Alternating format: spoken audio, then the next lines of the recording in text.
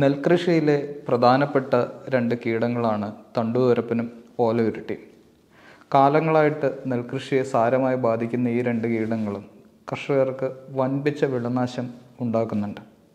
ഇക്കൊല്ലം തൃശ്ശൂർ പൊന്നാനി കോൾനിലങ്ങളിൽ നെൽകൃഷിയെ വളരെ സാരമായി ബാധിക്കുന്ന രീതിയിലേക്ക് നെല്ലിലെ തണ്ടുവരപ്പന്റെയും ഓലയുരുട്ടിയുടെയും ആക്രമണം അധികരിക്കുന്ന ഒരവസ്ഥ നമുക്കുണ്ടായി.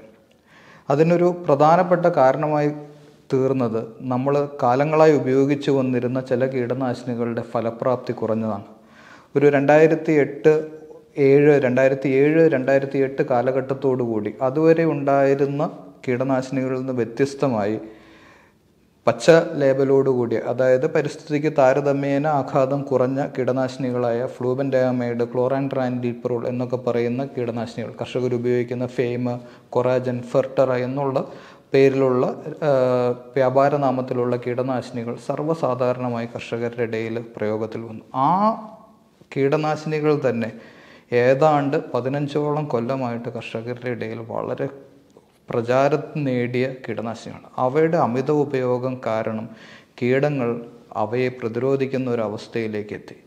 കാർഷിക സർവകലാശാലയുടെ പഠനങ്ങൾ തെളിയിക്കുന്നത് ഫ്ലൂബൻഡാമൈഡ് എന്ന് പറയുന്ന കീടനാശിനിയോട് നെല്ലിലെ ഓല ഉരുട്ടി ആയിരത്തഞ്ഞൂറ് മടങ്ങ് പ്രതിരോധം ആർജിക്കുകയും ക്ലോറാൻഡ്രാൻലിപ്രോൾ എന്ന് പറയുന്ന കീടനാശിനിയോട് ആയിരം മടങ്ങ് പ്രതിരോധം ആർജിക്കുന്ന അവസ്ഥ തൃശ്ശൂർ കോൾനിലങ്ങളിൽ നമ്മൾ നമ്മളുടെ പഠനങ്ങളിലൂടെ കണ്ടെത്തിയിട്ടുണ്ട്.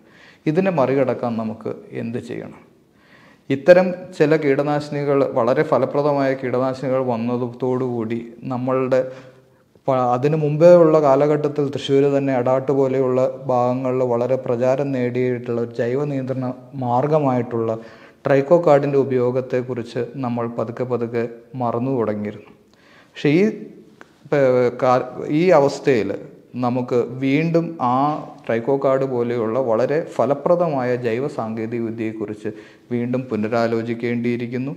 അടുത്ത വിള ഇറക്കുന്ന സമയത്ത് തൃശ്ശൂർ പൊന്നാനി കോൾനിലങ്ങളിലെയും പാലക്കാട് ഭാഗത്തും നമുക്ക് ഈ പ്രതിരോധ ശേഷി തൃശ്ശൂരിന്റെ അത്രയും ഇല്ലെങ്കിൽ പോലും ഏതാണ്ട് ആയിരം മടങ്ങ് നമ്മൾ കണ്ടെത്തിയിട്ടുണ്ട്. അപ്പോൾ ഇത്തരം മേഖലകളിൽ നെല്ലിൽ തണ്ടുവരപ്പിനെയും ഓലയുരുട്ടിയെയും നിയന്ത്രിക്കാൻ കഴിയുന്നത്ര മേഖലകളിൽ നമുക്ക് ട്രൈക്കോ കാർഡുകളുടെ ഉപയോഗത്തെക്കുറിച്ച് അതാത് ഭാഗത്തെ കൃഷി ഉദ്യോഗസ്ഥരും അതാത് പാടത്തെ ഭാഗത്തെ പാടശേഖര സമിതികളും കൂട്ടായിട്ട് ഒരു തീരുമാനമെടുത്ത് കൃഷി ഇറക്കുന്നതിന് മുമ്പേ തന്നെ ഈ ഒരു ജൈവ നിയന്ത്രണ ഉപാധിയെക്കുറിച്ച് ചിന്തിക്കുകയും അത് നടപ്പിലാക്കാനുള്ള മാർഗങ്ങൾ ആലോചിച്ച് അത് നടപ്പിലാക്കുകയും ചെയ്യുക എന്നുള്ളത് അടുത്ത വർഷത്തെ കൃഷിയിൽ നമുക്ക് വളരെയധികം പ്രയോജനം ചെയ്യുകയും ചെയ്യും.